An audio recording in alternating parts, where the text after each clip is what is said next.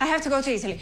What? I have to tell my dad, and I think the best way to do it is in person. Can Carina, take a breath. Let's talk this through. I don't know how he's gonna react to the news, and I just need to be there in case he goes crazy or something. There are no flights to Italy right now. The border is closed there and here, and even if you could get there, we're in a pandemic. Remember? I. Okay, yeah, I have. Ah, okay. I feel like there's so much that I have to do, and I don't even know how. Okay, what do you, what do you want? What do you need? What can I do? I, I, I have to organize the funeral. I, I have to I have to contact his landlord. I have to call the bank to sort out all the details and the paperwork. I have, I have to tell my dad. But what I want to do right now is scream. I want to scream until my throat hurts more than my head and my stomach and my chest. I just want to scream so that some of this pressure goes away. So scream. Do it. Let it out. I can't. I can't.